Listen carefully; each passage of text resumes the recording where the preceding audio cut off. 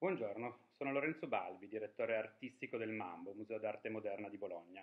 L'opera di cui ho deciso di parlare è un'opera di Alighiero Boetti che si intitola Non parto, non resto del 1984, parte delle collezioni del museo.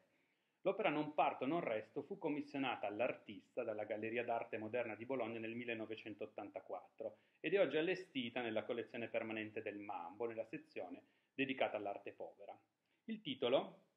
si riferisce alla vicenda drammatica narrata nell'Eneide di Virgilio e ripresa da Metastasio della regina Didone e del suo suicidio a causa dell'amore disperato per Enea.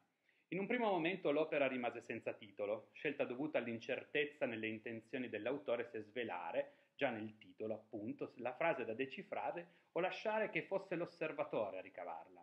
Infatti l'opera appartiene al ciclo dei lavori realizzati a Biro, che rappresentano delle vere e proprie macchine figurative da studiare, analizzare e leggere per, per poterne svelare il peculiare codice linguistico, quasi enigmistico, e ricavare la soluzione.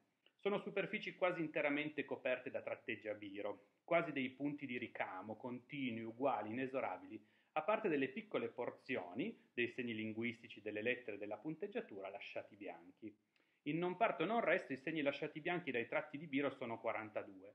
Le 26 lettere dell'alfabeto incolonnate sul lato sinistro dell'opera, dalla A alla Z, e 16 virgole ad altezze diverse che galleggiano come delle pause o delle onde in mezzo alla superficie compatta di inchiostro nero.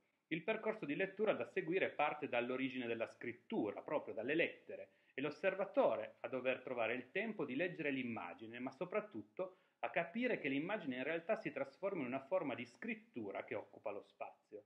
Capiamo come ricostruire la frase nel momento in cui iniziamo a pensare che l'immagine non va più guardata, ma letta e che le virgole in realtà non sono disposte a caso.